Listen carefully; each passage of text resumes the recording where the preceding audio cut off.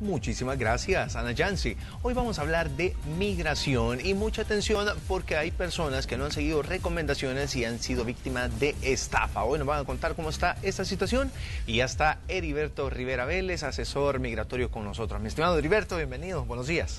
Buenos días, Henry. Ah, buenos días a todas las personas que sintonizan el programa.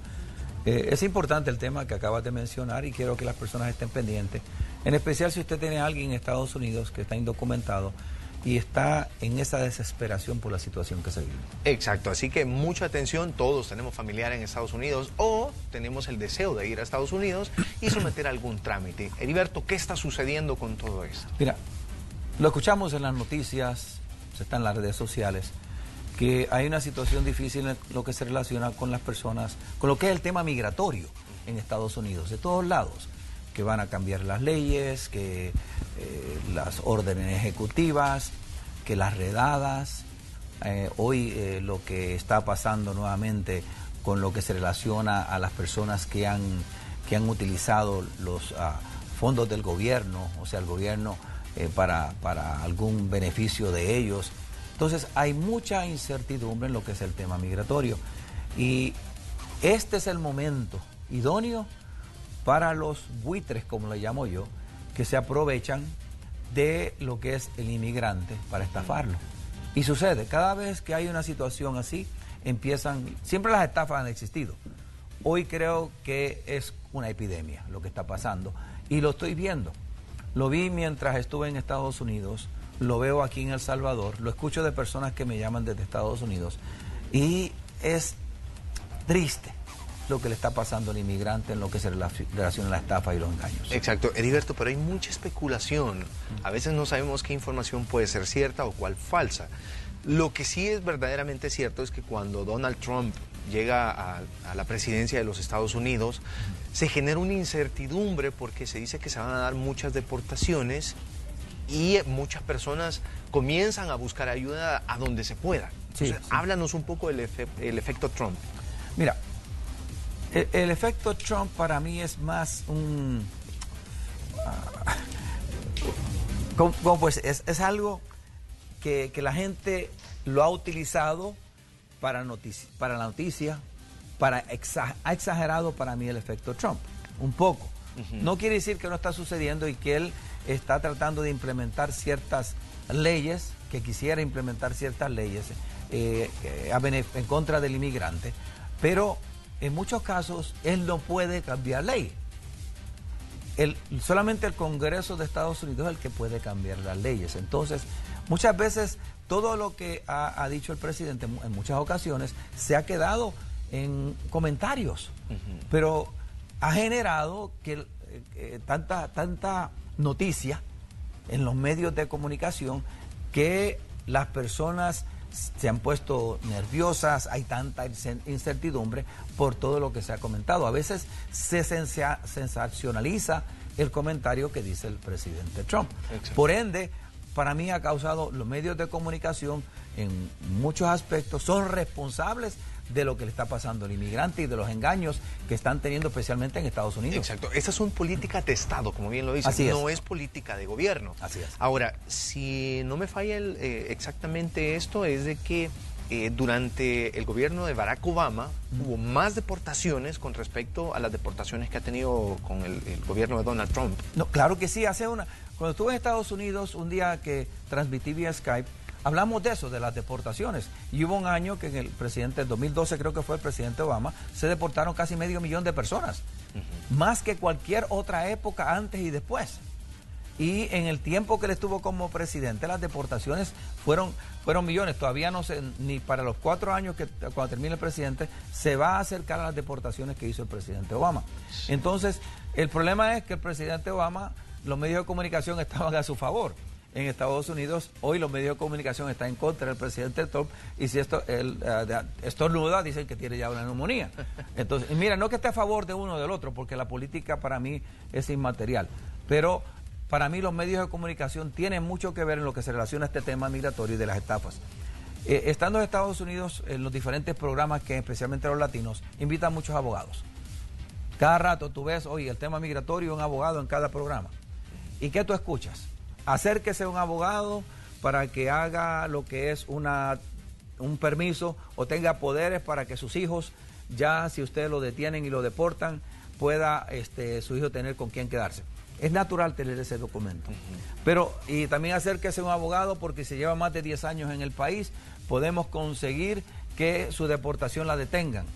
Y empiezan a hablar ciertas cosas que, mira, si tú llevas 20 años, 25 años en Estados Unidos y no tienes un beneficio migratorio, no lo has podido obtener, ¿quién dice que ahora lo puedes obtener? A menos que tengas una persona que te pueda peticionar, hayas contraído matrimonio con un residente o un ciudadano, o haya un padre o alguien en la actualidad que te pueda peticionar. Pero en la mayoría de los casos, si, tú llevas tanto tiempo documentado y hasta el momento no has podido obtener un beneficio migratorio, no lo vas a obtener. Y usualmente hoy, eh, que después de 10 años, si a ti te detienen y anteriormente tenías una violación a la ley migratoria porque no te presentaste a una corte, va a ser bien difícil que esa deportación la detengan. Son las excepciones. La regla es que si ya cometiste esa violación, te van a deportar. Y hay muchas personas que cuando reciben alguna noticia de esto comienzan a buscar algún asesor migratorio para que les ayude y a lo mejor el proceso pues no aplica. Entonces, ¿qué deben tener presente aquellas personas que andan buscando un asesor migratorio? Que no se dejen que les llenen los oídos. Muchas personas tú quieres que te digan lo que tú quieres escuchar. Y al decirte eso ya te enredas. Yo he conocido personas en Estados Unidos que los han engañado tres, cuatro veces porque le llenan los oídos, le prometen tantas cosas y cuando vienen a ver lo que termina es perdiendo 4, 5, 10 mil dólares porque lo que hicieron fue estafarlos. Y además de eso, ¿lo podrían deportar?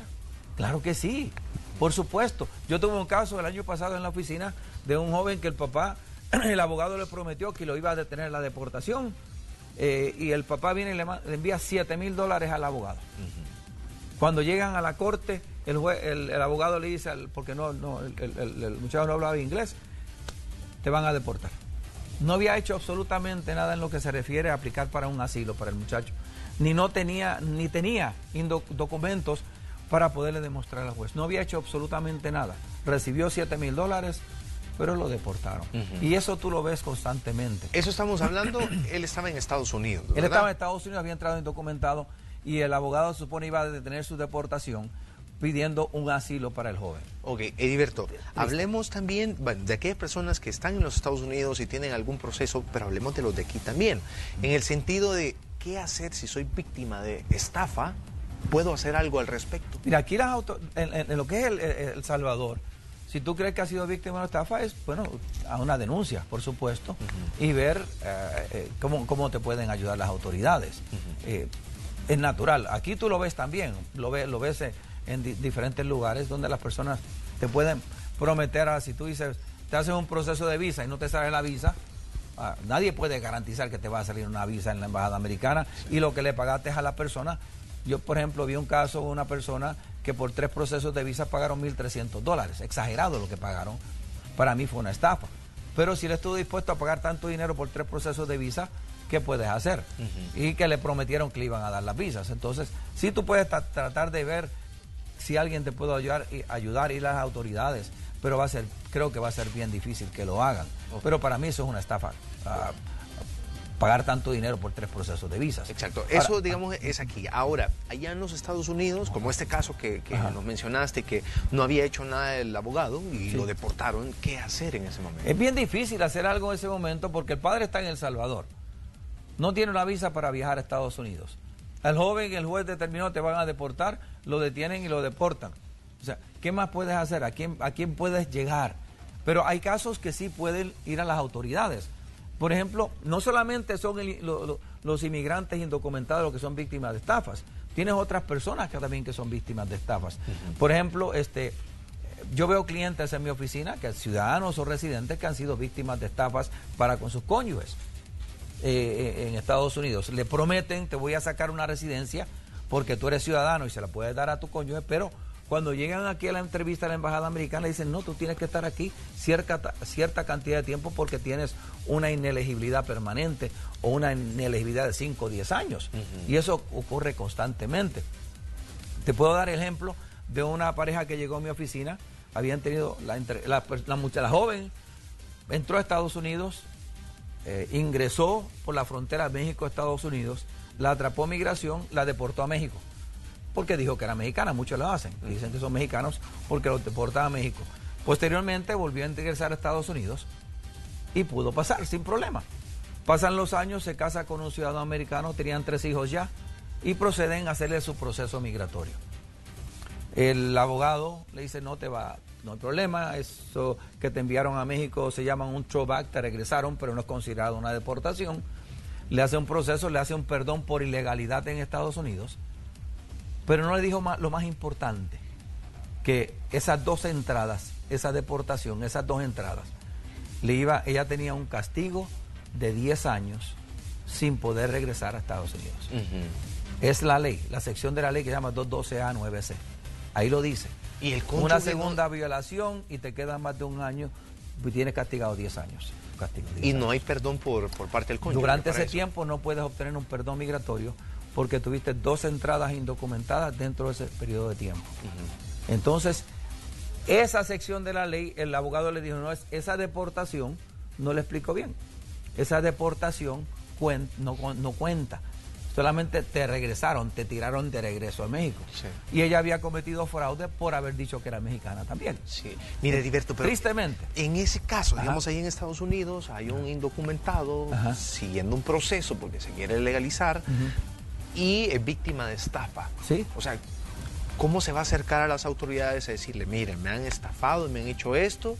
Y me imagino que no se va a acercar por el miedo a que lo deporten o existe algo que lo protege en ese Mira, hay, una oficina de, migración que se ha creado para que tú reportes todas estas personas que están estafando a la gente. Y puedes llegar a esa oficina y, reportarlo. El esposo de esta muchacha le dije, ve y reporta a este abogado, porque él te estafó. Y no eran mil dólares, eran miles. Creo que eran entre 2 y 15 mil dólares lo que le, había cobrado en honorarios por hacer un proceso migratorio que no iba a salir.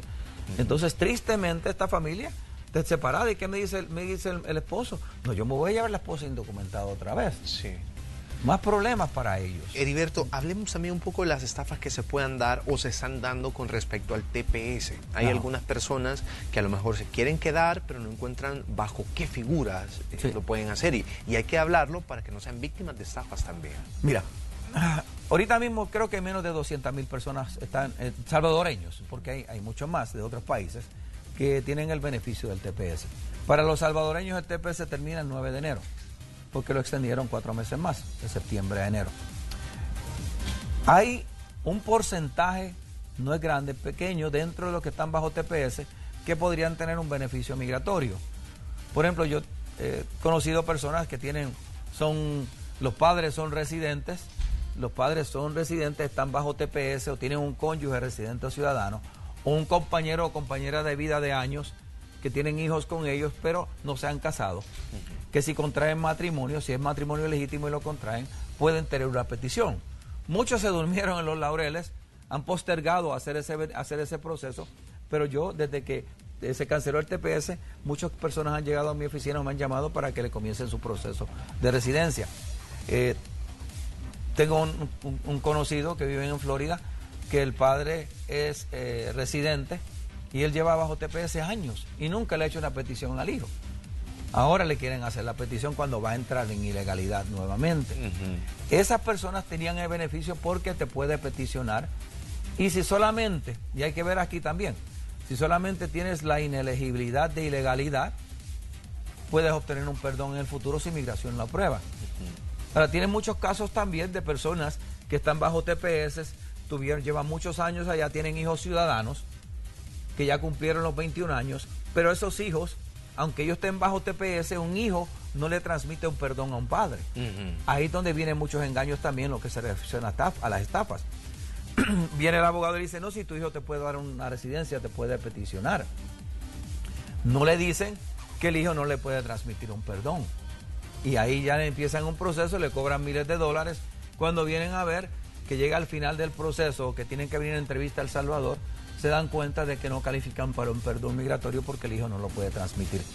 Ahí ya vienen los engaños. Sí, Heriberto, y hay muchísimos engaños, este tipo de casos. Si usted tiene eh, algunas consultas, escríbanos a través de las redes sociales, nos encanta escucharlos, nos encanta ayudarles también. Hay que aprovechar que tenemos a Heriberto Rivera por acá. Vamos a hacer una pequeña pausa y más adelante, Heriberto, vamos a seguir hablando de eso, ¿te parece? Claro que sí. Muy bien, hacemos una pausa, quédese con nosotros. Esto es solo